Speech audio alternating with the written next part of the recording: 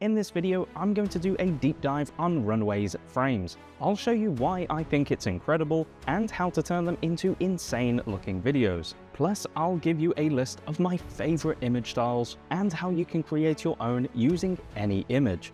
Okay, let's get into it. So let's jump straight into Runway and try out frames. So as you can see here on the right, there are loads of different examples of the kinds of images that you can create. So if you hover over them and click on one, it will add the prompt into the prompt box.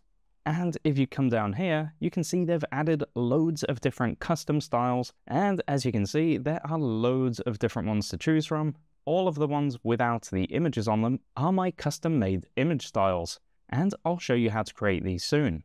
Now, you don't have to pick any of these if you don't want to. And we also have aesthetic range.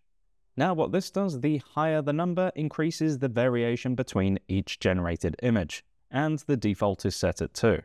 And by clicking this, you can also change the aspect ratio. So let's test out this prompt without any style selected. So here are the images from the prompt with a no style added to it, and they look really good.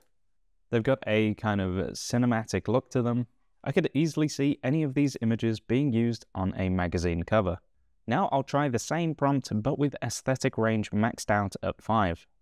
So these are the results when the aesthetic range was set to 5, and as you can see, each one of the four images is in a completely different style. If you want to experiment with finding different styles, I definitely recommend pushing the aesthetic range up to 5. So here are a few more examples of that same prompt, but in different styles. This is that prompt, but using the 3D cartoon style. And they definitely have that kind of CGI Pixar look to them. And here's that prompt using the light anime style. They all definitely look like they're straight out of an anime show, which is pretty cool. And here are the images with the in motion style. So this style just kind of adds a bit more dynamic motion to the images. This one up here doesn't really show much motion, but the other three have some subtle motion in them. And it's a pretty cool style to play around with. And here's the same prompt, but with my own custom style, which is going for that watercolor painting look. And I'm really impressed with how they've come out. You can even see the paper texture coming through on the images, and I'm really impressed. And here's a Squid Game inspired image which I tried in different styles. And as you can see, it's keeping the composition the same, but the style changes drastically. And I'm really impressed with all the different styles. Now let's have a quick talk about how to structure your prompt. Runway do suggest to follow this prompt structure. So they say to put your art style, then your subject, your scene, your lighting, and then your color.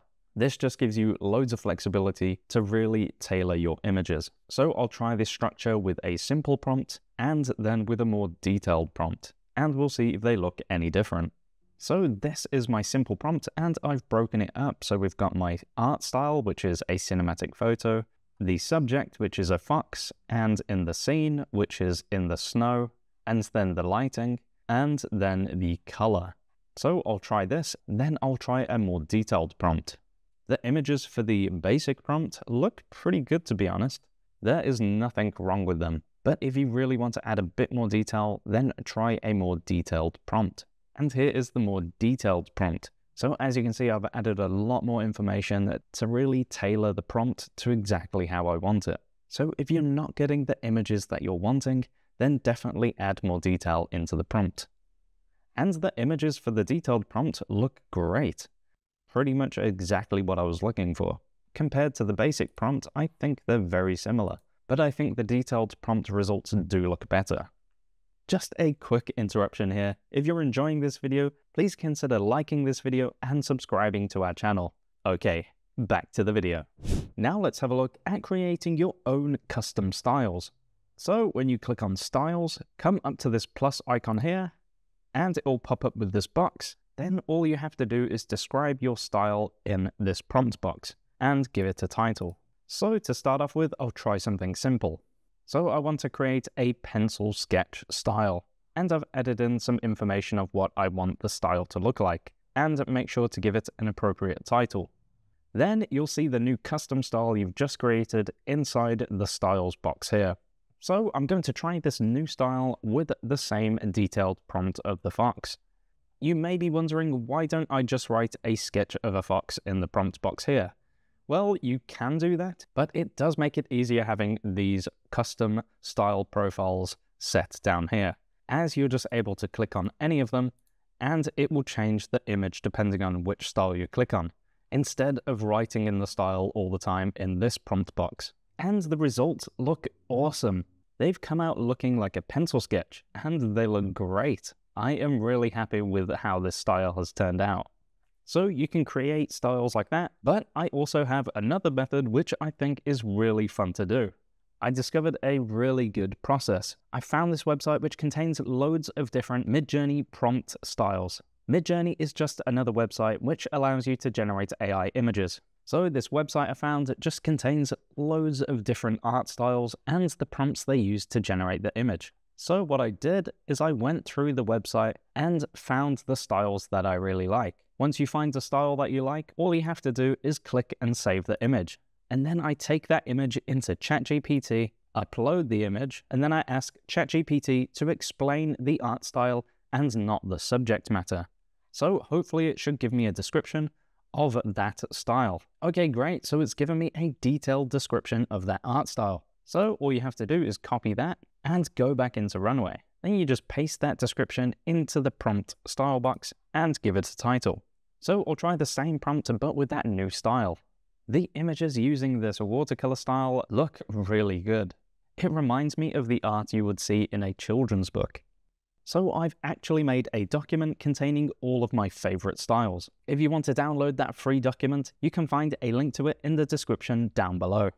Now let's have a look how well it works with text. So I've done a few tests and I can say it is really good at interpreting text prompts. So here are a few examples. So for this one, I wanted a theater with neon lights and it to say runway frames, and it's done an incredible job at putting the text into the scene you can get creative with your text. So in this one, I wanted the text to be inflatable metallic balloons. And in this one, I put the word atomic onto a sports-like t-shirt. It's a great way to get ideas for products. Like in this image here, I wanted to create a cover for a children's book with the title Arlo is Lost. And I'm pretty blown away by the results. In the prompt I added I wanted the book to be on a wooden floor, and I'm very impressed with how it came out. And in this one, I wanted to create a kind of product photography shot with a perfume called Frames. And it looks incredibly realistic. And here is a mock-up for a soda called Fizz. And it's even added all the water texture over the text as well. And here I prompted it to create a sci-fi movie poster called Frames. So you can get really creative with using text in runway frames. Now let's have a look at taking these frame images and turning them into videos.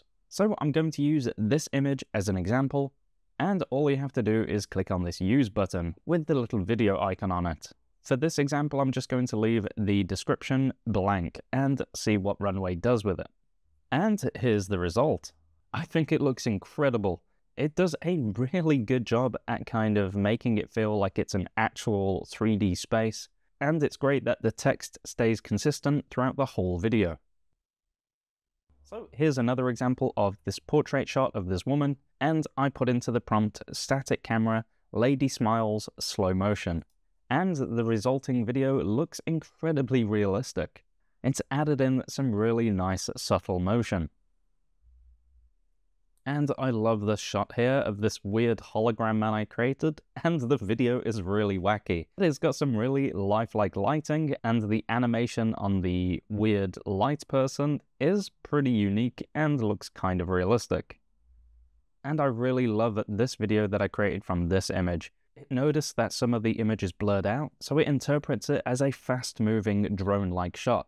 And I think it looks incredible feels like the drone is flying really close to the ground, just passing through all this grass, and I'm very impressed. Feel free to play around with the camera motion options as well. So for this example, I will just choose to add a bit of zoom, and then some verticality. So as you can see, the shot should zoom in and then rise up. And let's see what it does. And the resulting video looks great. It's done exactly what I added into the camera control. So as you can see, it's zooming in and rising upwards. So make sure to use this camera control for extra control over your video. And you can also add in the prompt to refine it even further. So now I want to show you how Frames is really good at working with Runway's facial animation tool, Act 1. With Act 1, you can use your facial performance to put onto a character of your choice. So for this prompt, I've just generated a man in a 3D cartoon style. And then all you have to do is click Use, and then go down to Act 1. And then you add in your driving performance video here. I've actually got some pre-recorded videos of myself from another video I did on Act 1, so I'm going to use that as an example. And then download the image of the character that you want to add the animation onto, and click on Upload, and drag that in. So once you've got your driving video and your image loaded in, just click Generate. So let's see how that looks. Hello everyone, and welcome to Runway's Act 1.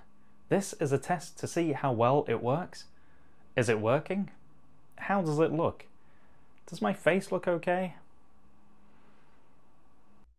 that looks amazing. So this is a fantastic method of creating your own character using frames and then animating it with your own performance.